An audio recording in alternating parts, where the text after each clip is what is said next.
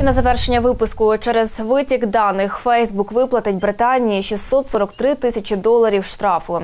Оштрафують компанію за порушення, що зокрема стосується скандалу з Cambridge Analytica. Остання незаконно зібрала дані 87 мільйонів користувачів соцмережі, у тому числі щонайменше 1 мільйона британців, та передала їх третім особам. Спочатку Фейсбук оскаржив штраф, накладений ще рік тому, але в подальшому відмовився від апеляції. Після цього компанія все ж таки погодилася сплатити кошти.